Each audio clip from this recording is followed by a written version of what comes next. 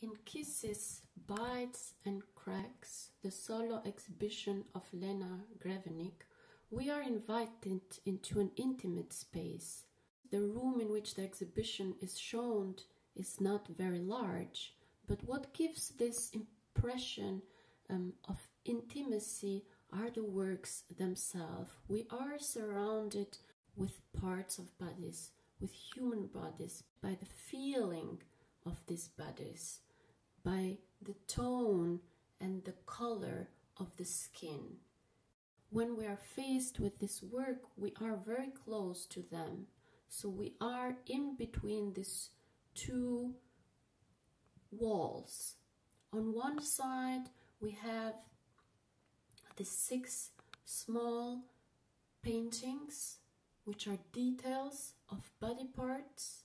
They look like aquarelle works, but when you come closer, you see that they are made of oil, paint, and actually by using natural materials, she is directing our attention towards body details. And those body details carry with them certain sensations, like, for example, that ear. When we look at that ear at the same time, we are thinking about hearing. That sensation is being invoked within us. The background is missing. It is left to us in our intimate space within ourselves to make our own story about this group of paintings. They have something remote. They look like the details of um, wall paintings from some ancient times. And today, viewed from a different perspective, we are the readers making that story within our own mind. It is not a random choice that Lena is using a body.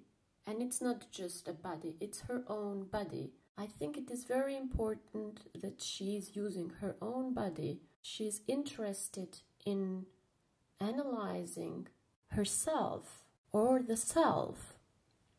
It is one of the most interesting investigation that an artist can do because at the same time by investigating the self they are doing this investigation for all of us other human beings that are maybe looking at this um, exhibition so they are confronting us maybe with issues or concerns that we as well have had. And what is important about this group of works is that while making visible and capturing these details of bodies like the hand, the hairs, the ears, the feeling that is created within us is the feeling of what is beyond the image. And we might tend to think that it's the feeling of absence, but actually, by showing these body parts, um, what Lena is doing is actually giving us a feeling of expansion because when looking at that ear, we immediately think of hearing. So another dimension opens up for us. And appearances as Kant said, must themselves have grounds which are not appearances. So that which is not apparent is actually what is being evoked within us. And that which is not appearing or present at the moment is more and is beyond what we see. That kind of awareness we all achieve in those moments we are left alone in our intimate self. And rarely we are confronted with our own body. So the body of the artist actually becomes our body too, in that sense.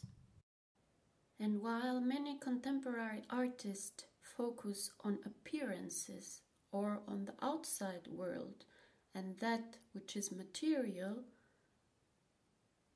Lena brings us back to the body and to that which is beyond the appearance of the body. She's bringing our awareness within us. And once we start being there in that intimate space within us, we start creating our own perception of our existence. On the opposite wall, we find the large painting with the title Das eine für das andere greifen. Here we see almost entire body parts. They are brought together in one image. So there is a repetition of the subject, which actually turns it into a surface.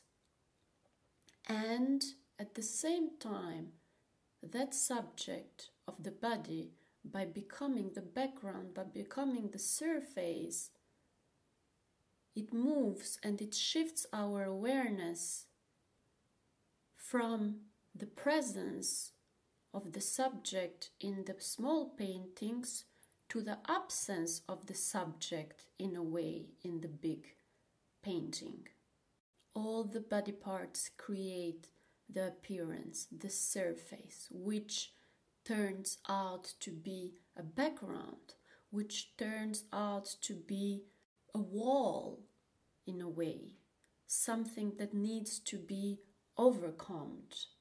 In this painting, we are dealing with the intensity of the connection, with the intensity of the body, with the inward experience of the body not as a firm reality but as the result of different connections that are driven by the senses. Here, as well, in this painting, with this load of information and materiality and visual language, we are confronted with the overdose of sensations, of appearance, of presence, and it becomes difficult to localize what is here the subject of the painting. Because body parts are creating this feeling of merging. And instead of creating an identity. They are dissolving that identity. The artist is moving us, or at least our awareness, into the field of philosophy because our inner process of thinking and philosophizing is being activated because philosophy is not concerned with particulars, with things given to the senses, but with universals things that cannot be localized, as Aristoteles said in Nicomachean Ethics.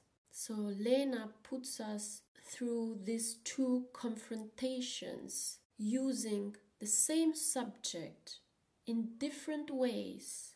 She challenges us and our perception from a different position while pulling us in our own intimate space, where it is up to us to confront our human nature beyond the appearances of the body.